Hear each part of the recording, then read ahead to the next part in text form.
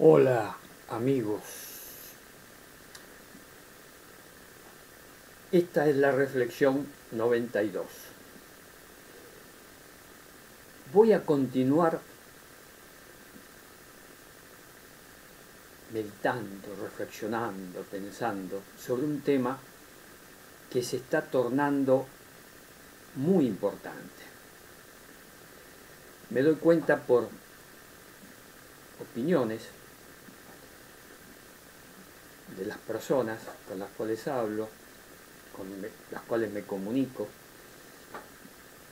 así en forma cibernética, por lo que yo investigo, los, los videos que veo, bueno, a medida que reflexiono, investigo sobre este tema, me doy cuenta que tiene una enorme importancia en la actualidad. Bueno, después de esta, de esta forma de presentarlo, creando un suspenso, el tema que se está tornando cada vez más trascendente en la época actual es el del pensamiento positivo, el que yo de manera socarrona digo el tú puedes, tú puedes. Yo me daba cuenta que era importante este, este tema, que era muy importante, pero no advertía hasta qué punto es tan importante. Está gravitando de manera profunda en la forma de pensar y de comportarse del Homo sapiens, sobre todo en la actualidad. Este tema yo lo voy a analizar por lo que investigo y observo en la época actual. No sé si en el futuro buscaré antecedentes históricos de comportamiento efectivo en las personas. Tendría que buscar datos históricos, documentación, donde el común de las personas, la mayoría de las personas, actuaran como si veo que actúan ahora.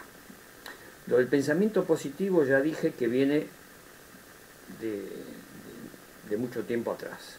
El origen probablemente esté en, el, en Oriente.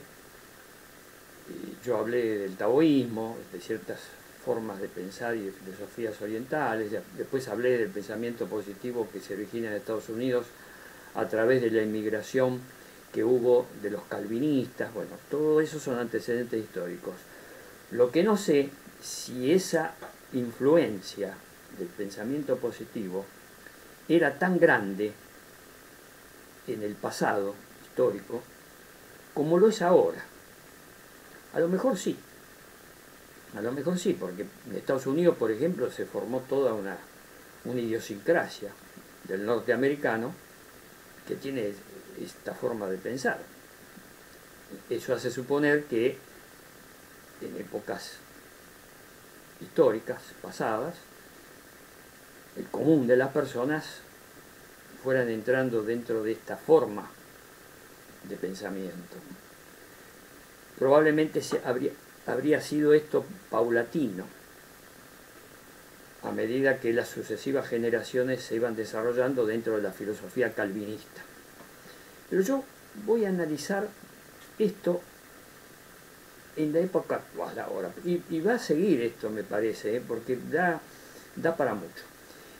Quiero comenzar con una anécdota que yo tengo de mi adolescencia. En esa, cuando era un muchacho, un adolescente, iba a un club deportivo, al cual iba también mi padre y mis hermanos, y la anécdota específicamente es esta. Había un, señor, muchacho, yo era un adolescente, tenía menos de 20 años, estaba en los 15, 16, 17 años. Y este señor tendría 30. Un hombre, para mí, ya era más grande. Bueno, tenía una característica. La característica, y me empiezo a sonreír porque realmente daba para eso. Ya por empezar el apellido. Se llamaba Zaponco. Zaponco. Y la característica era que todo lo tomaba en broma. Todo era chiste y broma. Hablaba constantemente, se comunicaba con, nosotros, con nosotros y con las personas mayores, en, en el club. En el club era todo chiste, todo broma. Era, era algo extraordinario la, chispa, se le decía en esa época, que tenía para el humor, para el buen humor. En todas las reuniones, o previo a, hacer un deporte, este muchacho jugaba mucho al tenis, al básquet. Y antes del, practicar el deporte se reunía, yo escuchaba, me acercaba, los, los pibes nos acercábamos, escuchaba porque contaba cuentos, chistes, cuentos, chistes, todo era broma, broma, broma, broma. Incluso cuando jugaba. Hacían bromas, si se equivocaba de dar un golpe jugando al tenis, por ejemplo, al dar un golpe con la raqueta, eh, decía un chiste y todos se reían. era algo impresionante. Nunca había un caso así, era un caso excepcional. Un día estaba contando chistes, un chiste detrás del otro se había formado un, grupo de gente, se, reía constantemente las personas por, los chistes que hacía Zapombo. Y yo debo decir que me estaba cansando. Ya esa forma de ser estaba en contradicción con mi forma más reflexiva. Yo siempre era reflexivo de, adolescente, de niño, siempre fui así, me gusta pensar, analizar las cosas, buscaba las vueltas que podía tener algo o alguien. Y ya me estaba cansando tanto chiste, tanta broma. Entonces me separé del grupo que lo rodeaba, que seguía contando chistes. Me separé del grupo y encontré a una señora joven estaba en una reposera leyendo, leyendo un libro. Entonces me acerco, la única persona, los demás estaban todos alrededor de, este muchacho, escuchando los chistes que contaba. Me acerco a esta persona y trato de hablarle, al principio ella reticente, estaba leyendo, yo la interrumpí, pero como me vio que yo tenía... Después me dijo, me llama la... bueno, me lo dijo en forma casi inmediata, me llama la atención que no estés allí con los con las otras personas, escuchando los chistes de mi marido. Resulta que era la esposa de Zapongo. Y entonces y estaba ahí, leyendo un libro. Entonces le dije, sí, porque ya me estoy cansando, todo en chiste, todo en broma. me estoy cansando, no lo tome a mal, le digo a la mujer, ¿no? no lo tome a mal que diga esto. Entonces me mira la mujer, los ojos le brillan, y me dice, te comprendo, porque a mí me pasa lo mismo. Entonces le pregunto, ¿cómo? Le pasa lo mismo, señora, usted estando al lado de una persona tan alegre, tan optimista, todo está bien. No, me dice. Y entonces me cuenta sus cuitas. Cuitas significa sus, sus lamentaciones. Y, y me dice, y me quedó grabado en la memoria. Me quedó grabado. Los cuentos y los chistes que decía Zapongo no me quedaron, ni uno me acuerdo. Pero sí lo que me dijo la esposa, la mujer. Me dice, es insoportable estar al lado de una persona como él. Bueno, y me contó que en la vida cotidiana no se podía nunca hablar con él, no se podía nunca tratar nada, porque todo contestaba con un chiste, una broma, que ya estaba harta estaba pensando seriamente en, divorciarse. Por eso me comprendía a mí, que yo me hubiera cansado. dice, ¿vos te cansaste? Me dice a mí, yo era un chico. ¿Vos te cansaste? Bueno, a mí me tiene harta. Bueno, me quedó esa anécdota. ¿Y a qué tiene que ver esto con el pensamiento positivo? Y hay una relación. Dentro del pensamiento positivo hay mucho de ver el lado del chiste, de la broma, del buen humor, tomarlo todo con optimismo, ver las facetas optimistas. ¿Por qué traigo a colación esta anécdota? Porque investigando, estudiando el tema, llego a esta reflexión. Luego hacia el final del video voy a profundizar hacia la mitad. Voy a profundizar en dos aspectos que son fundamentales. Pero previamente quería hacer una acotación que proviene de esta anécdota que acabo de contar. Yo observo que dentro del pensamiento positivo, lo que dije recién, hay muchas facetas de buen humor, de optimismo, de alegría, de chiste, de broma, etcétera, etcétera. Incluso muchos influencers, influenciadores, comentaristas, eh, las personas que yo dije en anteriores videos que hablan y hacen videos en internet, en YouTube, que son consultores. Vean videos anteriores donde profundizo con el tema de los consultores, no voy a, los menciono. Estos consultores utilizan mucho el buen humor también. Entonces ahí empecé a hacer analogía. El buen humor, el chiste, la broma, tiene relación con el pensamiento positivo. Y claro, si yo cuento algo que es trágico, da, induce a un pensamiento dramático, un pensamiento negativo. En cambio, si cuento algo alegre, chiste, broma, induce al pensamiento positivo. Tiene su lógica. Entonces hice esa analogía. Y descubrí que todos estos consultores que venden sus productos de, de cómo hacer grandes negocios y cómo ganar plata, etcétera, lo que dije en videos anteriores. Todos estos consultores utilizan el buen humor y cuentan cosas, incluso dicen chistes y cosas amables de buen humor. Hay una analogía. Lo dejo ahí en suspenso el tema del buen humor, dentro del pensamiento positivo. Lo dejo en suspenso. Vamos a dejarlo un costado y vamos a ir a una profundización del pensamiento positivo. Yo dije en videos anteriores, bueno, lo menciono así brevemente, que se basa en la sugestión, en la autosugestión, que detrás de, de estos dos conceptos hay un deseo de omnipotencia, de,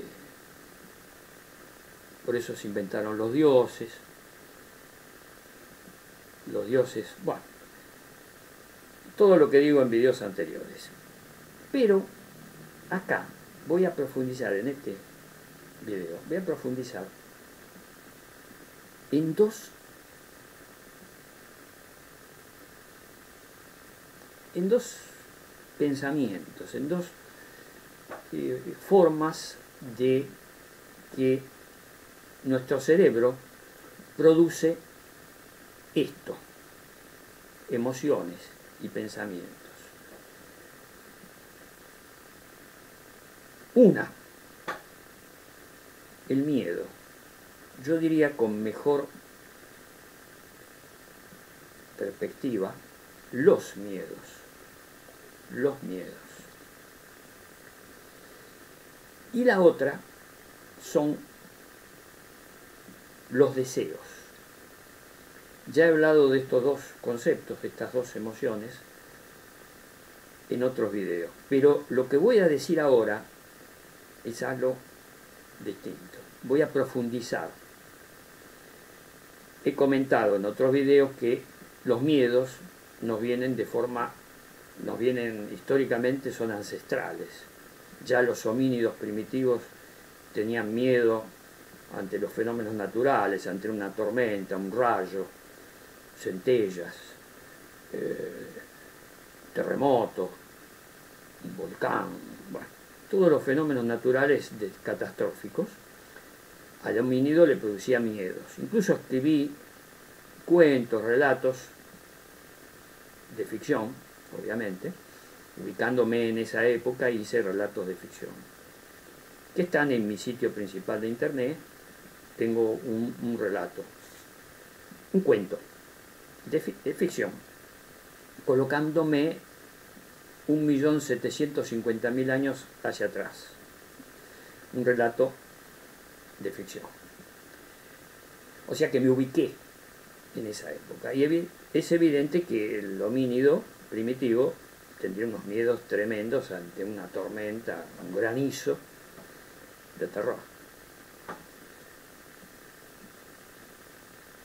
Cuento otra anécdota hablando de granizo. Yo hago asociación libre de ideas. Me vino un recuerdo que tuve con mi queridísima esposa Patricia. Hace ya unos 10 años, obviamente ya estaba viva, sana, una noche empezó a llover torrencialmente y se produjo un granizo impresionante, impresionante. Golpeteaban piedras enormes, en las ventanas de, un, de una sala que, se, que da directo al jardín de, mi casa. Tan fuertes fueron las piedras que caían que rompieron varios vidrios de esas ventanas. Y pegaba en...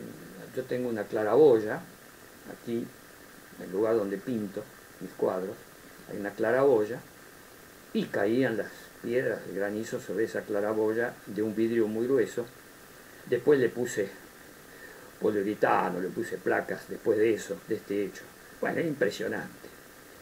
Por suerte el vidrio de la claraboya era muy grueso, resistió y no se rompió. Pero de la habitación que da el jardín sí, se rompieron varios vidrios. Bueno, mi esposa Patricia se asustó muchísimo, le vino un miedo, un pánico. Me abrazó, se aferró a mí y se sentían los golpes y los vidrios que se rompían se puso a llorar, se puso muy mal. Y yo me asusté, pero no al nivel de, mi esposa. Bueno,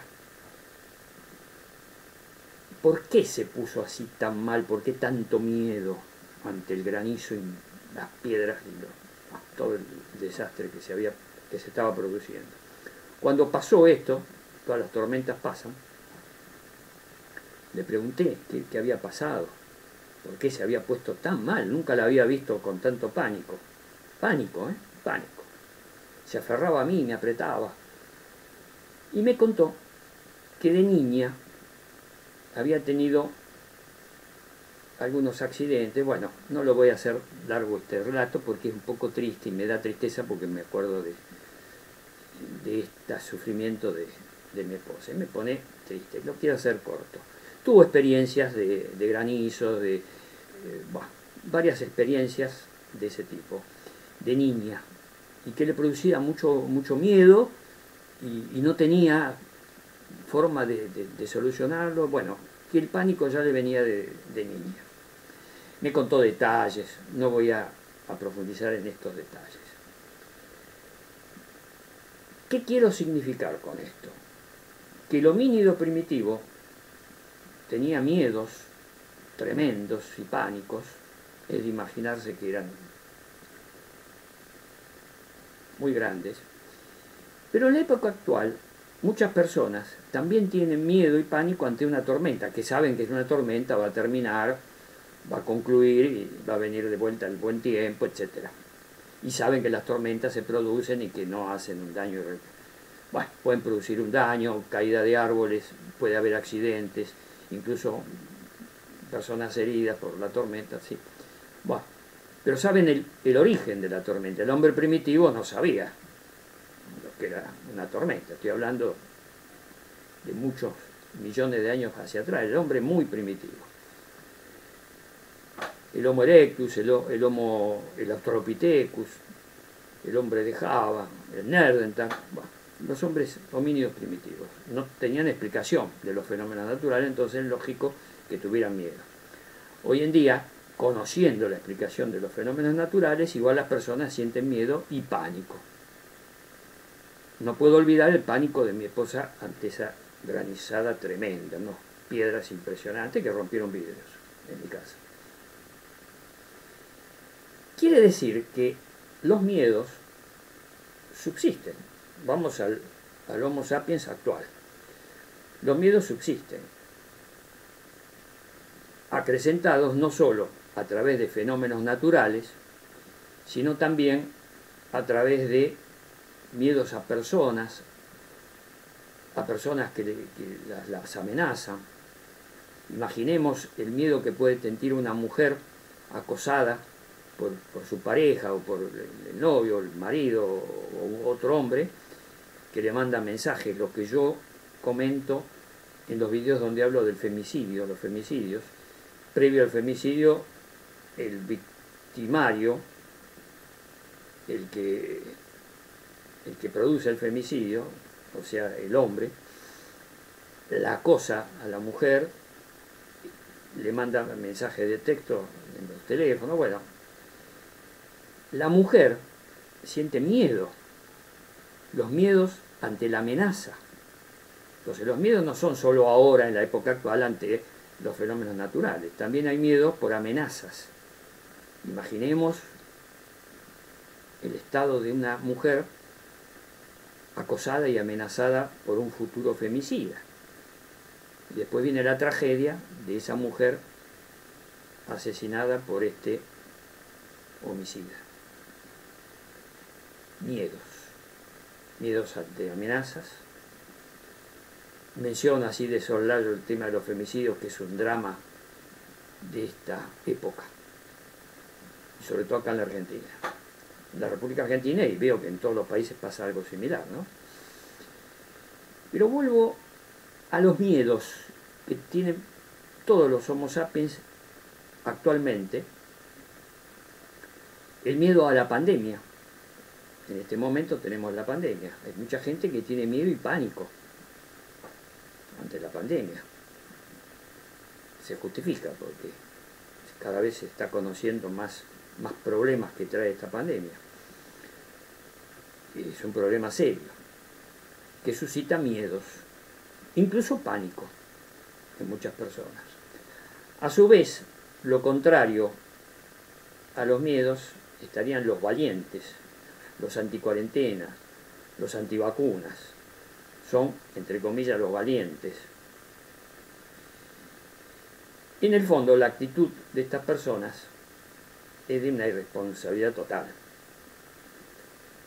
yo más bien justifico los, miedos. No los pánicos, pero en mucha gente hay miedo y pánico. Y el otro, la otra emoción que quiero analizar en este video, lo dejo en suspenso, los miedos. Porque para contrarrestar los miedos surgen los gurúes del pensamiento positivo. Ahí está el contradictor de los miedos, es el pensamiento positivo, aparentemente. Me podría explicar que es una trampa, y una trampa tremenda, peor que los miedos. El pensamiento positivo como contradictor de los miedos, como para remediar los miedos, los temores de los Homo sapiens. Vuelvo a los deseos.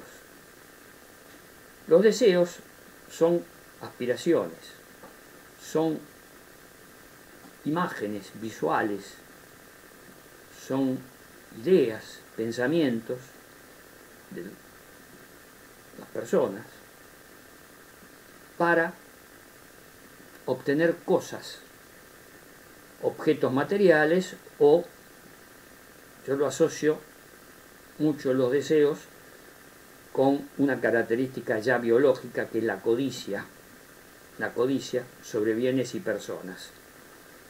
Y los deseos se relacionan en un nivel paralelo a la codicia.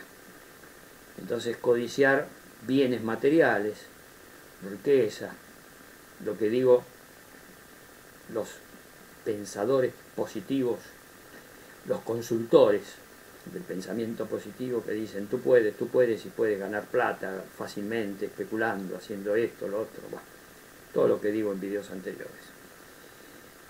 El deseo, como una emoción y un pensamiento fuerte, en muchos seres humanos actualmente se está dando y que está incentivado por el gran flagelo, además de la pandemia, que es el sistema capitalista. Es decir, el sistema capitalista fogonea, fogonea los deseos. De ahí viene el consumismo, el querer consumir, tener cosas y consumir, y tener una mujer, por ejemplo, que tenga el deseo de un vestido, de otro vestido, y un hombre de un traje, una camisa, zapatos, lo que fuere, cosas de vestimenta, cosas de, de la vida diaria, tener, tener un auto, tener dos autos, una pareja, tener un auto el hombre, un auto la mujer, tener, bueno, tener, tener, tener. Desear, tener. Dos palabras claves. Lo de tener es una palabra clave que yo la voy a ir analizando en profundidad en otros videos. Ahora me detengo en el deseo, en los deseos. Y los deseos fogonean, vuelvo a usar esa palabra, que es muy interesante, el consumismo, consumir cosas. Y el sistema capitalista se basa en producir muchas cosas que, que son superfluas, pero que incentiva el deseo de tenerlas y el deseo de consumirlas. Y aquí viene cómo el pensamiento positivo tiene una raíz de lucro y está engarzado dentro del sistema capitalista, que fogonea los deseos. En general deseos de poseer y de tener objetos, bienes. Y este pensamiento positivo produce algo que es muy grave, que es gravísimo. En ese afán, en ese deseo de poseer, se busca lo óptimo, lo sobresaliente, lo mejor. Entonces, observen este detalle. Las personas hoy en día consumen mucho teléfonos celulares. Teléfonos celulares es un elemento de, de consumo muy en todos los países del mundo y en todas las clases sociales y económicas. Sean pobres, ricos, todos quieren tener teléfonos celulares, teléfonos, telefonitos, le digo yo, en forma así, amable. Pero, ¿cuál es el elemento de consumo? Como es un mercado de empresas capitalistas, incentivan mejorar la tecnología y sobre pretexto del mejoramiento de la tecnología aparecen nuevas, nuevos teléfonos con tecnologías cada vez más sofisticadas. Entonces las personas quieren pasar de un teléfono con un sistema anterior a uno más nuevo, a lo nuevo que sale. Cuento esta anécdota. Yo iba a una verdulería donde había uno de los de las personas que trabajaban en la verdulería, un muchacho joven, que estaba contento porque tenía su teléfono celular. Yo en ese momento no tenía, hace varios años de esto, no tenía teléfono celular. Él estaba contento, varios años, ¿eh? estaba contento con el teléfono celular. Y viene un amigo o el hermano de él, no me acuerdo ahora si era amigo o el hermano. Bueno, viene otra persona, muchacho también de la misma edad de él, y viene con un teléfono más sofisticado, más moderno. Y se lo muestra a este muchacho que me atendía a mí en la verdulería. Le muestra todas las cosas nuevas que tenía el teléfono. Y este muchacho, que se había hecho amigo mío, incluso yo le hice unos frasquitos de perfume, porque yo hago perfumes artesanales para mí, para mi uso. Entonces, como yo estaba agradecido, porque me entendía muy bien, un día me dijo que quería hacer un regalo en el Día del Padre al Padre, este muchacho, entonces yo le dije, bueno, te puedo dar, te puedo regalar un frasquito de perfume, de extracto, me lo quería pagar, yo dije, no, no, bueno. Me atendía muy bien, era muy amable. Había una relación amistosa. Bueno, este muchacho cuando el hermano o el amigo le mostró su nuevo teléfono celular y le vio las cosas nuevas que tenía, le vino un ataque de ira y agarró su propio teléfono celular antiguo y lo tiró contra un, lugar, un, tacho donde tiraban las verduras que estaban en mal estado, la fruta que estaba en mal estado, la tiraban ahí. Y lo tiró ahí. Menos mal que cayó en un colchón de verdura y no se, no se rompió. Y lo tiró con fuerza, con una ira. Pocas veces vi a una persona con tanto enojo y tanta ira. Ante una pavada como esa, de que tenía un celular más antiguo y no, era tan sofisticado como el que le estaba mostrando el amigo o el hermano. Me quedó esa anécdota. Y yo enseguida fui al tacho a rescatar el, el teléfono, porque era un teléfono que servía, servía y servía mucho. Y entonces, el que había tirado el teléfono, mi amigo, el verdulero, este, seguía todavía rojo, se había puesto una ira tremenda tenía. Yo le digo, mira, acá está el teléfono, ¿no? Lo tenía así, medio escondido el teléfono, porque a ver si lo quería romper. Bueno, se tranquilizó después de un largo rato y finalmente aceptó que yo le, le diera el telefonito de él, antiguo. Se lo di, el telefonito. Y él lo aceptó, se lo guardó, se le fue la ira. A los pocos días fui a hacer nuevas compras y se había comprado un teléfono nuevo, similar al que tenía el amigo el hermano. Competía. Entonces le pregunté, ¿qué hiciste con el telefonito anterior, el antiguo? Se lo di a mi hermana, se lo di a no sé a quién se lo dio, una amiga, se lo di a otra persona. Se lo regaló así como si fuera basura. Lo había tirado al tacho de basura. Y no era así el telefonito antiguo funcionaba y andaba bien y servía, iba a servir por dos tres años más. Pero el deseo de tener lo último, el deseo de tener lo último. Esto forma parte del, de lo que yo llamo el pensamiento positivo. Al tener la excelencia, lo mejor, lo sobresaliente. Yo siempre digo que lo óptimo es enemigo de lo bueno. En este caso, el telefonito antiguo era bueno, servía. Y sirvió. Para dos o tres años más, sirvió. De hecho, mi esposa tenía un telefonito análogo y lo usó durante varios años. Análogo en tecnología a ese que había tirado este verdulero. Bueno, lo óptimo es enemigo de lo bueno. Lo mejor, lo óptimo, la tecnología última, el consumismo, el querer tener, y aquí viene el concepto de tener, desear tener, consumismo, está dentro del pensamiento positivo que incentiva y que es usado por el sistema capitalista para el consumismo, para el lucro, la codicia, porque la, tecnología avanza y las empresas venden teléfonos nuevos, con nuevas tecnologías y venden y, ganan plata. Cuando el teléfono de la tecnología anterior puede servir dos o tres... Mi esposa lo usó cuatro años, esa tecnología anterior lo usó durante cuatro años y le servía perfectamente, porque no estaba imbuida de eso que este muchacho pobre verdurero tenía, que era lo óptimo, lo sobresaliente.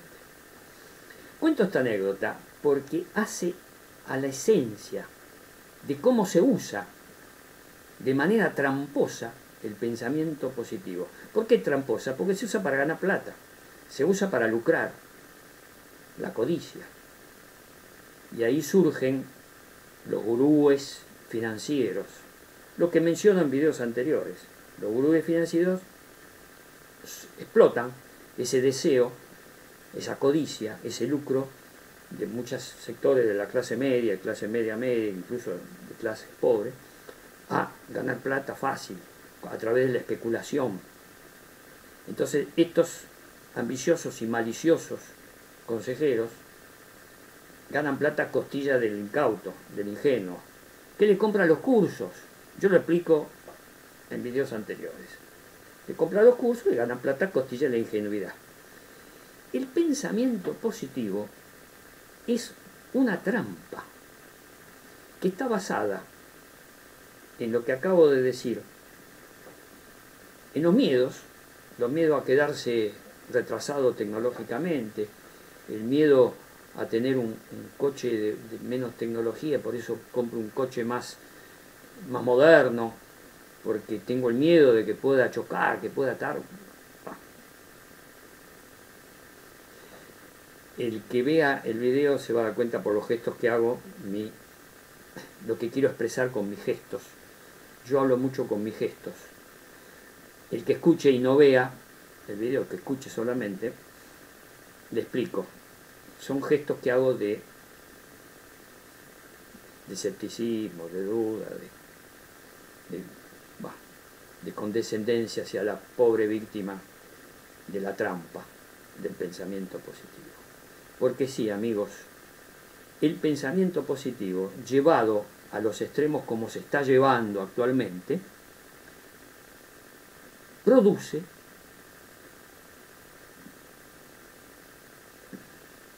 malestar.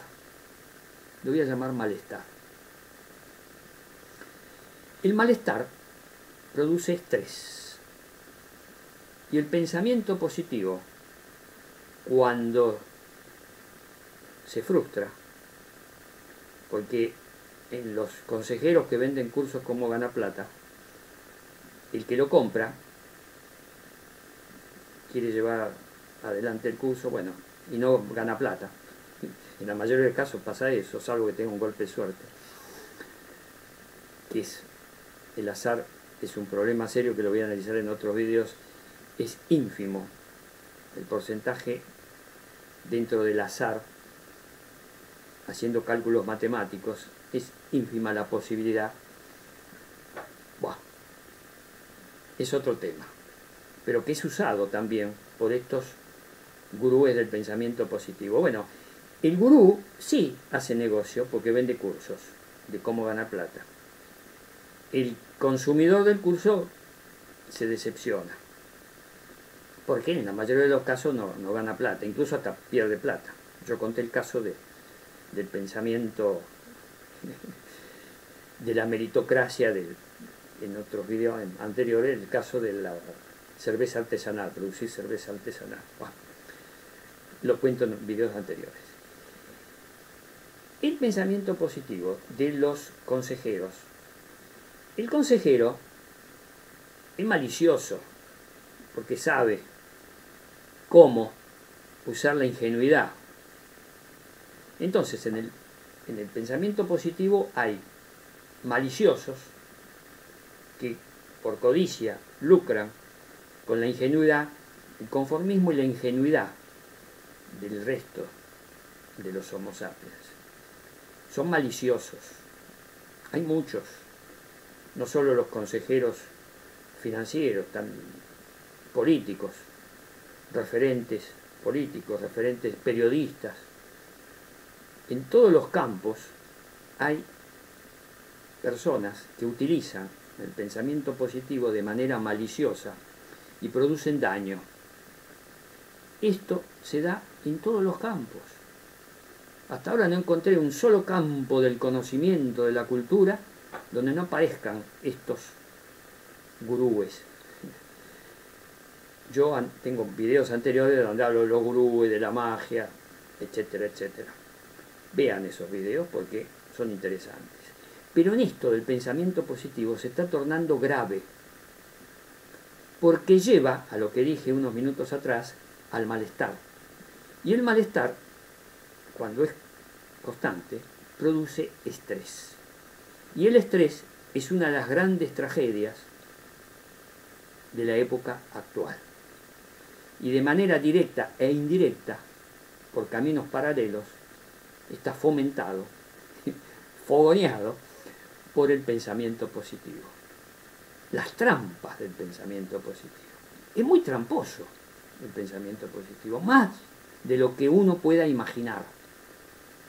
Yo imagino, escribo ficción, entonces imagino, con el pensamiento positivo pueden producirse tragedia, esto, lo otro, pero en la realidad concreta de los hechos del Homo sapiens actual es muy grande el problema que está produciendo y cada vez más porque produce malestar.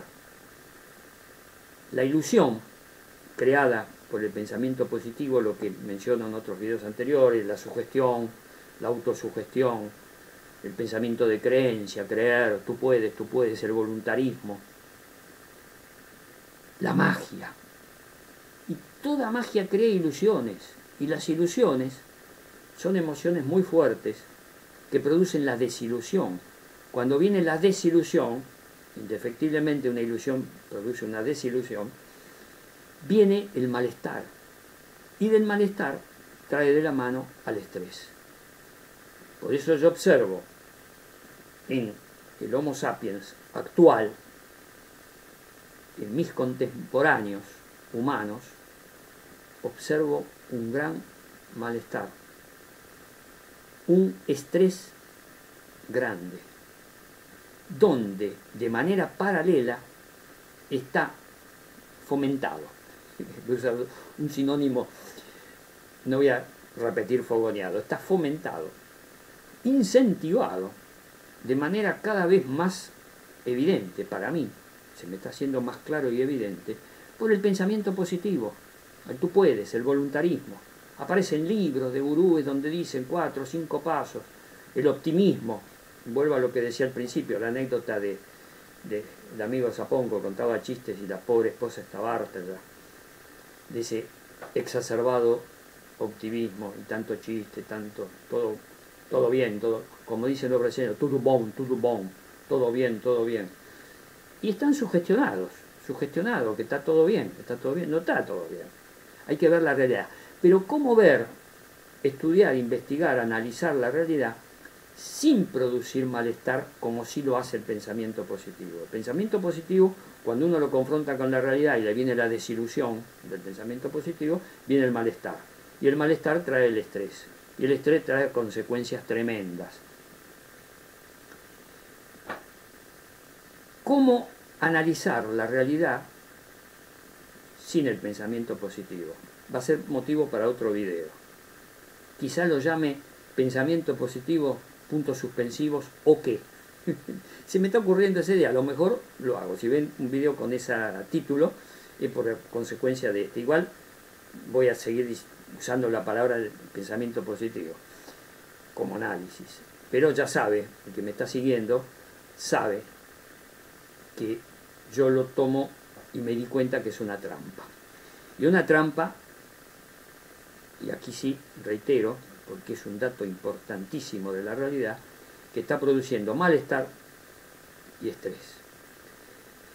El objetivo de mis videos es cómo analizar la realidad, que es en este momento la pandemia, por ejemplo, es tremendo, es trágico, están muriendo personas. Y hay gente, los antivacunas, que salen a la calle y, propagan el virus así, y no le importa nada a la gente que muere. Y bueno, el pobre que no puede pagarse la vacuna, que se muera no les importa. Bueno, ese es otro motivo para otro video. Pero estas personas, que también se contagian, ¿eh? porque salen sin precauciones y se están contagiando. Y ya se está contagiando gente joven. Es un drama. Bueno, ¿cómo analizar este problema? Por ejemplo, lo pongo como ejemplo, el de la pandemia, los, todos los, los cabos sueltos que voy dando en mis videos. ¿Cómo analizar esta problemática? sin generar malestar y sin generar estrés en la persona que analiza. Yo estoy muy entrenado con técnicas de forma de pensar y entonces analizo problemas gravísimos sin crearme estrés. Yo no estoy estresado. La prueba está que no estoy estresado, que hago cosas, que hago estos videos, que pienso, reflexiono, investigo, estudio, pinto, escribo, etc. Hago cosas. La persona estresada se paraliza. El estresado, el malestar. El estresado va paulatinamente a la melancolía. La melancolía es una enfermedad ya grave. Ya no es depresión, es melancolía. Es un estado permanente de depresión. Y en la melancolía se produce la inercia. No tiene ganas de nada la persona. No tiene ganas de trabajar, no tiene ganas de nada, se va cayendo, cayendo en la melancolía, se tira en la cama, mira el techo, todo está mal, todo mal. Y aquí viene el problema del pensamiento positivo. Los que incursionan con grandes ilusiones en el pensamiento positivo y después la realidad los lleva a la desilusión, al desencanto, al malestar, al estrés. Y ahí viene el problema serio. Por eso digo que el pensamiento positivo como estrategia de, de conducta, como estrategia para superar, entre comillas, superar problemas, la sugestión, la autosugestión, el voluntarismo, el tú puedes, tú puedes, tú puedes, con la voluntad, visualizando cosas, incentivando el deseo del mejorar, todo lo que hace el pensamiento positivo, lo que produce, a mediano plazo puede llevar a la melancolía, siguiendo las, las pautas que fui dando recién, los pasos que fui dando recién. Yo también doy pasos. Los pasos míos son hacia superar el estrés y el malestar. Los pasos de los Homo sapiens que inducen a un pensamiento positivo, a la magia, los pasos de la magia. Vean un video donde yo analizo a alguien que estudió los pasos de la magia. Son 12 pasos de la magia. Lo, tengo en un video, lo, describo lo cuento, lo explico. Es un mago, es uno de los magos de que yo estuve, estudié. Después lo simplificó, de los 12 pasos lo llevó a 3 pasos, 4 pasos, no, tres no, cuatro pasos de la magia y quedó en cuatro pasos para hacerlo más fácil, más simple. sintetizó, de los 12 pasos, sintetizó dos o tres en uno, ahí así, y elaboró toda una estrategia mágica, que está dentro del pensamiento positivo, porque el pensamiento positivo, no sé si me va a dar para este video, voy a tener que hacer otro, tiene facetas, niveles pseudocientíficos. Ahora ya lo denomino sin duda alguna pseudocientíficos, porque tiene ribetes científicos, lo adornan con, datos científicos y son pseudocientíficos.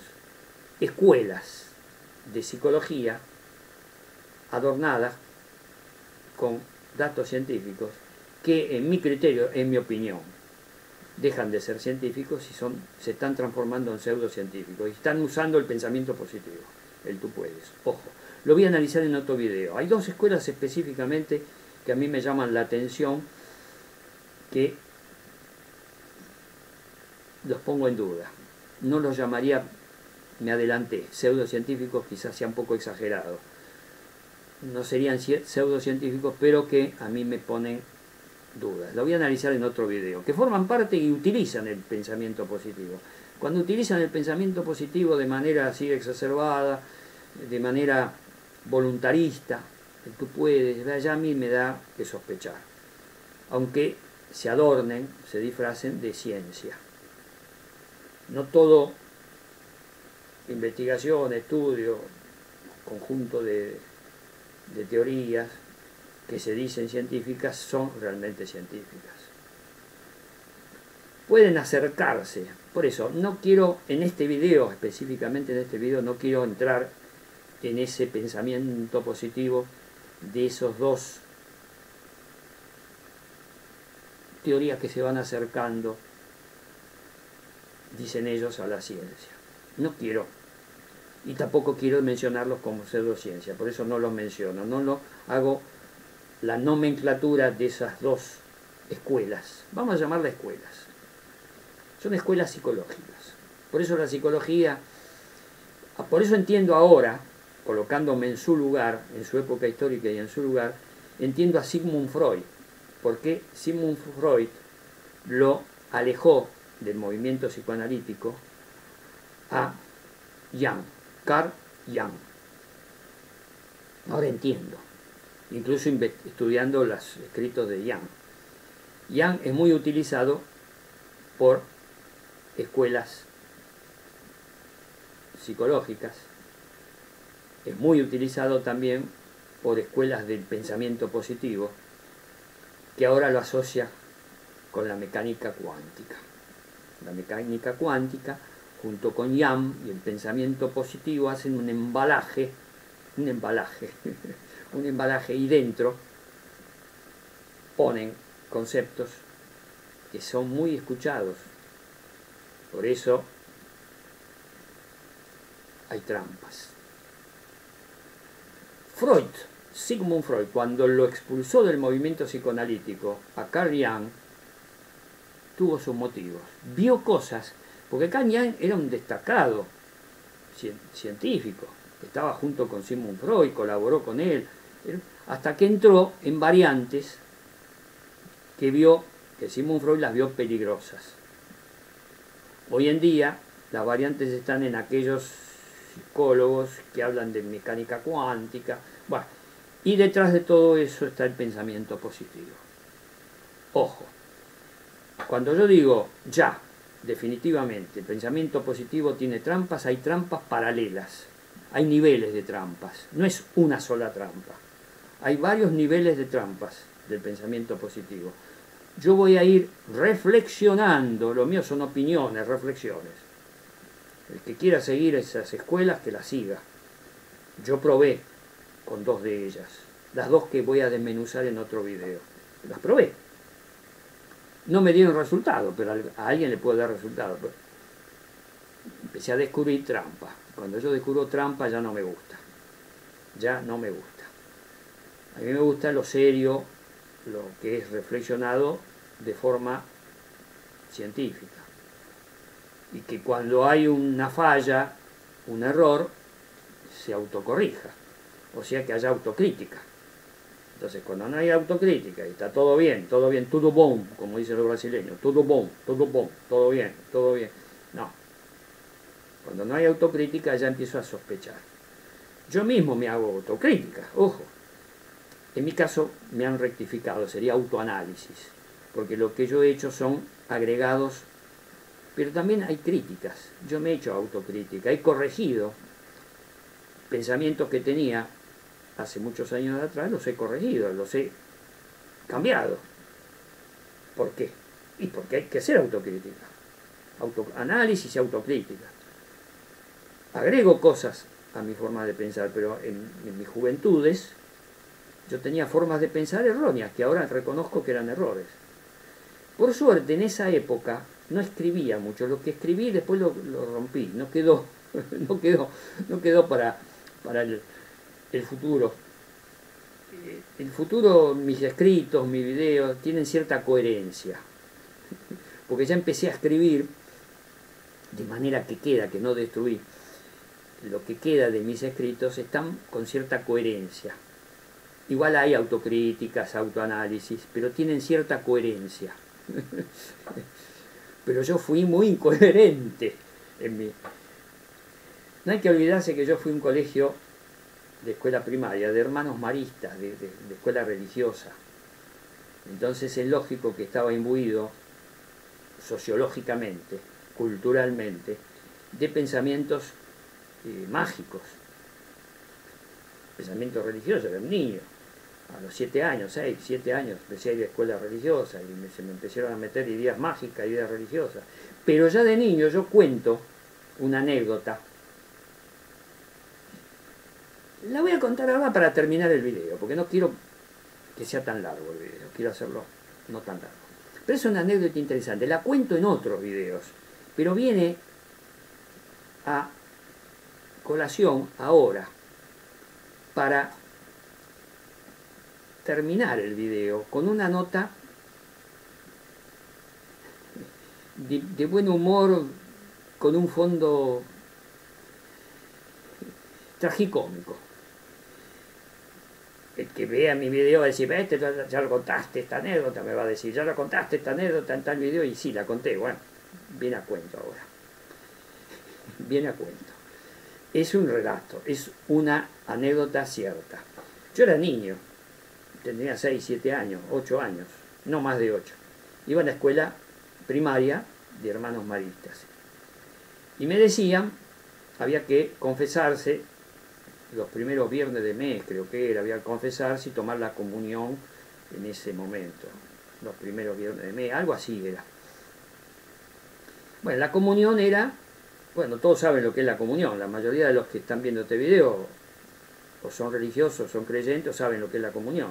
La comunión dentro de la religión católica es eh, confesarse primero y después eh, la comunión le ponen la hostia, que es un trocito de pan, santificado por el sacerdote, y que de forma metafórica, diría yo ahora, pero en ese momento yo me lo creí, me lo creí como decía el pintor Salvador Dalí con esa voz que tenía grave, me lo creí.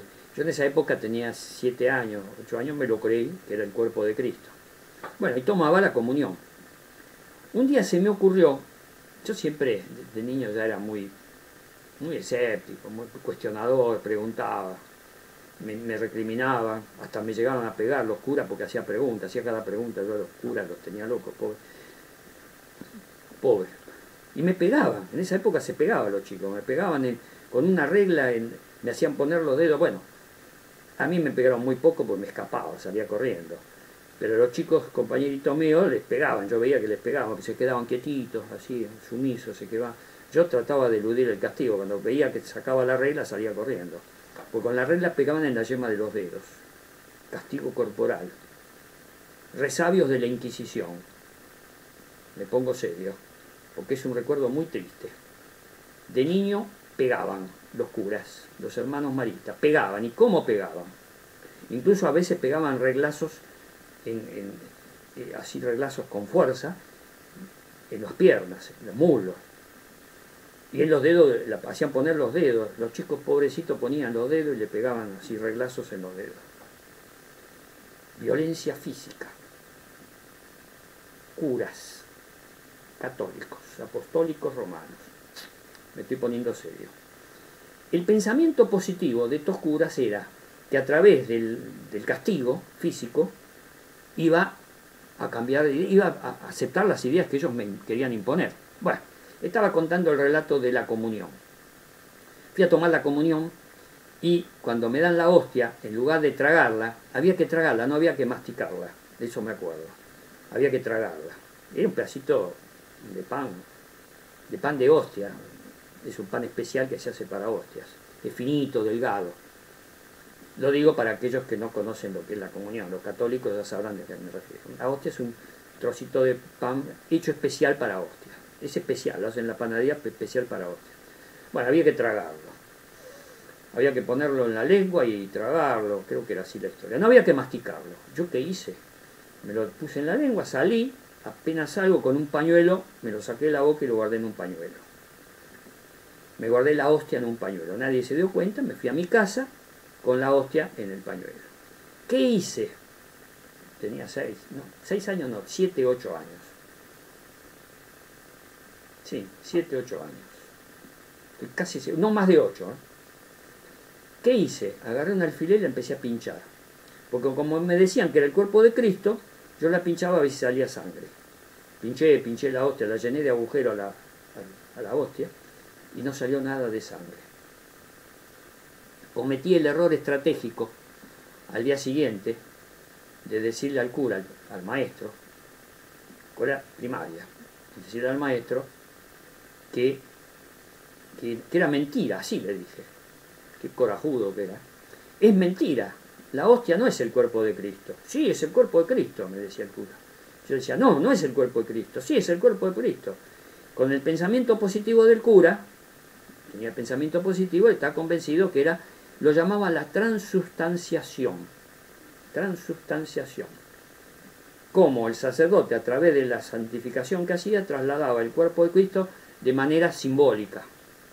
Claro, por eso lo llamaba transustanciación, pero era el cuerpo de Cristo. Y el cura, el hermano Marita, estaría convencido en su pensamiento positivo que era el cuerpo de Cristo, por eso que había que tragarlo. Canibalismo, ¿no? Pues si era el cuerpo de Cristo, había que tragarlo. Después yo empecé a investigar el trasfondo de la comunión. ¿Qué es eso que acabo de decir recién? Acto canibalismo para tener los poderes de Cristo. El poder de Cristo, de Dios, era omnipotente, bueno, a través de la comunión. Es así de simple. Pero eso me enteré después. Yo en ese momento estaba convencido que era el cuerpo de Cristo. El cura con su pensamiento positivo estaba convencido. Cuando yo le dije que me había llevado la hostia, que le había pinchado y no salía sangre, bueno, se horrorizó. Ahí le vino pánico. ¿Cómo hice eso? ¿Qué sacrilegio que había hecho? Bueno, intentó pegarme con la, con la regla. Cuando fue a buscar la regla, yo salí corriendo, bueno, me escapé, pero después, al final, eh, aceptaron no hacerme un castigo físico, sino que me pusieron en penitencia. Estuve en penitencia un montón de días por haber cometido ese sacrilegio. En penitencia. Otro día voy a contar cómo eran las penitencias en los colegios de hermanos maristas. Hasta sexto grado fui. Hice toda la escuela primaria, casi toda. Desde segundo grado hasta sexto grado, porque primer, primero inferior y primero superior, se decía en esa época, lo hice en una escuela pública. Después me pasaron, en el segundo grado me pasaron a, la, a esta escuela. Cuento esta anécdota porque es muy importante y hace a la esencia de la condición humana y del pensamiento positivo.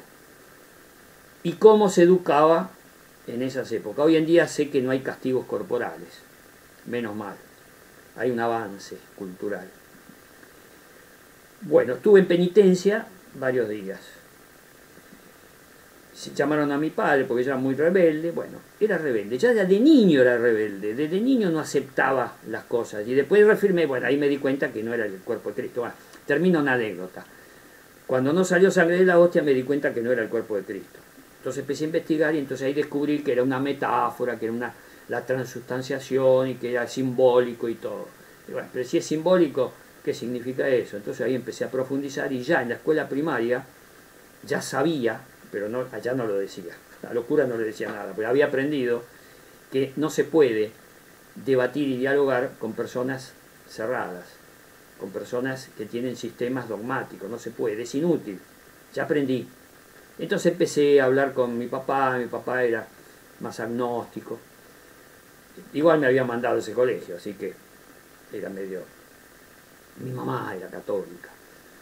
Eh, otro día voy a contar anécdotas que tengo de niño con respecto a mi mamá. Las cosas que hacía mi mamá, que rezaba a hurtadillas y yo la descubría rezando, me iba para dejarla tranquila. Bueno, esa es otra forma del pensamiento positivo, el rezo. Se reza para obtener cosas de la deidad.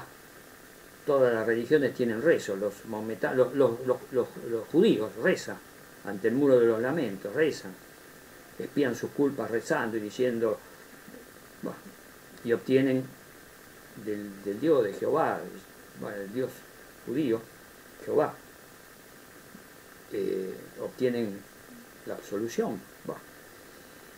Todo esto que estoy diciendo, rubricando el video, son secuelas, secuencias, están dentro, en un nivel de pensamiento positivo, están dentro del pensamiento positivo, en un nivel paralelo al nivel... Y todas estas secuencias producen trastornos, producen malestar, decepciones, desilusiones, Siempre el pensamiento positivo produce ilusiones. Y las desilusiones, ilusiones siempre producen desilusiones. Y eso indefectiblemente produce malestar y estrés. Voy a terminar este video con todos estos cabos sueltos que fui dando. Y a través de las anécdotas, que son verídicas, cuando yo digo que es una anécdota mía, me pasó en la realidad. Cuando es ficción, digo, y hago un cuento de ficción, novela o lo que fuere, digo, es ficción. No, cuando digo cabos sueltos son datos que a mí me sucedieron reales. Doy fe, yo no miento. Vamos a empezar por ahí. Yo no miento, lo digo en todo mi video que yo no miento. Así como yo no miento, cuando digo que es una anécdota mía, es real. Hechos reales que me sucedieron. Las secuelas. Hay muchos cabos sueltos en este video.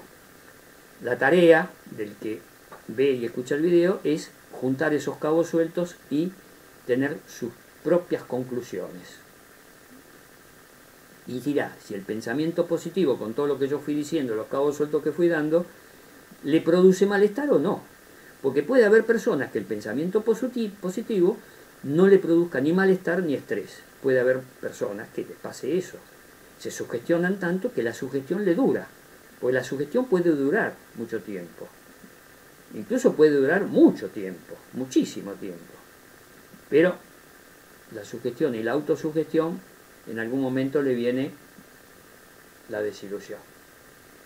Este tema de la desilusión en las ilusiones, en la sugestión que está dentro como secuela del pensamiento positivo, lo voy a analizar en otro video, porque es un tema serio y muy grave. Porque hay personas que la sugestión le puede durar mucho tiempo. Incluso hay personas que viven sugestionadas. Ojo, es tema para otro video. Y personas que me dicen, no, yo tengo pensamiento positivo y me, me funciona y anda bien, y pasan los años y siguen con su pensamiento positivo sugestionadas, y les funciona. Y viven sugestionadas. ¿Qué pasa con esas personas? Hay, hay muchas personas que les pasa eso. Pensamiento positivo eterno. Pasan los años y sigue con el pensamiento positivo. Y tengo investigaciones hechas al respecto. Pero lo voy a hacer en otro video. Este video lo termino acá. Eh, quería terminarlo con la anécdota mía de la, de la comunión y de lo que hice. Qué malo. visto, visto por la óptica de un hermano marista, qué malo que era. Qué niño malo. Niño malo que pinchaba hostias. ¿Cómo puede hacer eso? Lo que habrán pensado estos hermanos maristas cuando se enteraron que yo hice ese experimento. Era un experimento para ellos hubiera sido malo, qué malo que era. Bueno, me dieron penitencia, tenía que, rezar tantos Padres Nuestros. Yo hacía como que rezaba, pero hacía, movía los labios para que vieran que pero estaba pensando en otra cosa. Y en penitencia, en una esquina, en un rincón, me ponía en penitencia y me miraban a ver si rezaba. Yo pensaba, seguía meditando, iba a estar rezando, si sabía que no daba resultado. A mí no me daba resultado, a mí nunca me dieron resultado. Todas las cosas que me dijeron los curas nunca me dieron resultado. En cambio sí, me dieron resultado muchas otras cosas que aprendí luego. Pero no es motivo para este video. Termino este video amigos, espero que les haya sido amable dentro de lo tragicómico. Ojo, el pensamiento positivo, el que lo quiera practicar, que lo haga. Tiene muchas trampas. Estoy descubriendo que tiene cada vez más trampas de las que yo pensaba, porque estoy reflexionando y eso es peligroso. Mis reflexiones son peligrosas, entre comillas. Espero que ayuden a las personas que son más escépticas y que quieren solucionar, que no quieren vivir sugestionadas. A esas personas les puede ayudar, a las otras les puede crear algún malestar y bueno, trato de ayudar. Mi objetivo es ayudar a no crear malestar y superar el estrés. Ese es mi objetivo, ver la realidad tal como es sin estrés. Amigos, ahora sí, termino este video y me despido hasta el próximo. Chao.